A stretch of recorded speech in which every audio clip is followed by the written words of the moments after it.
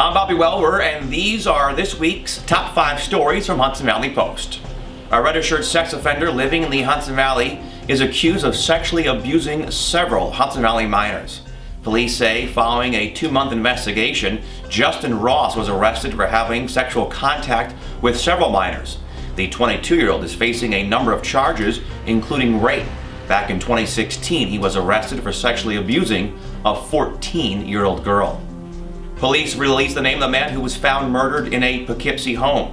Following calls that a man was being tied up and beaten, police found Frederick Joey Reach of Ulster County dead inside the home.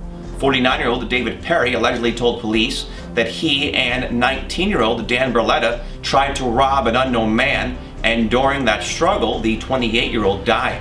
Both Poughkeepsie men are facing murder charges.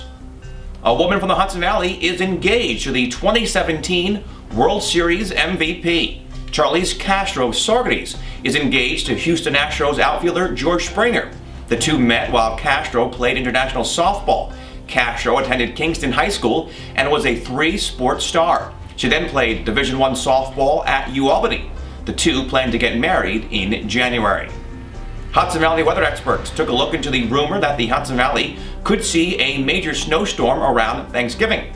Some forecasters say a polar vortex may be taking aim at our area and bringing with it a major winter storm. According to Hudson Valley Weather, they have no data that shows a storm event in our area, but the weather forecast could change. The site adds we should be prepared for very cold temps around the holiday. Finally, a Hudson Valley officer is dead after getting shot in the head while off duty in Orange County. Authorities say Frank Farina was driving in Woodbury on Route 6 when he was shot in the head.